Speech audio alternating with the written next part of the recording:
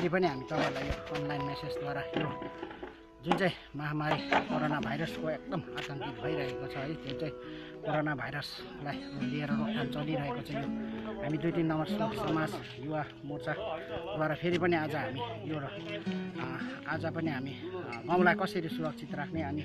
गाउँघरलाई कसरी बचाउने भन्ने कुरोमा हामी एकदम चिचित भएर एउटा सचेत व्यक्तिको हिसाबले हामी सबै पार्टीबाजी नहेरेर सबै एउटा गाउँको समग्र समाज सबै सबै मिलेर आज फेरि हामी यो दुई तिन नम्बर समाजको जहाँको यो मेन माथि गाउँ पस्ने बाटोमा हामीले फेरि पनि आज यो यहाँ गेट बनाउँदैछौँ चेकपोस्ट बनाउँदैछौँ। यहाँ हाम्रो यही छ कि भने हाम्रो जति पनि गाउँलेहरू छन् उहाँहरू घरमै बसिदिने घरभित्रै बसिदिने सरकारको जुन चाहिँ जिटिए अनि सरकारको जुन चाहिँ पहल छ घरभित्र बसिदिने उहाँहरूलाई एकदम पालन गरिदिने र जुन चाहिँ हाम्रो गाउँबाट जति पनि बाहिर गएन र गाउँमा पनि बाहिरको मान्छे आवत आवत जावत गरेन भने हामी गाउँको मान्छे त्यसै सुरक्षित छौँ भन्ने हिसाबले र हामी दुई तिन नम्बर धुरा समाज अनि युवा तर्फबाट। यो पनि आवेदन निवेदन गर्न चाहन्छौँ कि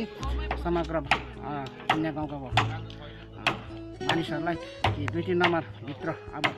पुरान्दा नौलो मान्छेहरूलाई प्रवेश गर्न दिइने छैन। जतिजना यो लकडाउन चलिरहेको छ त्यतिजना हामी दुई तिन नम्बरभित्र प्रवेश गर्ने दिने छैनौँ। र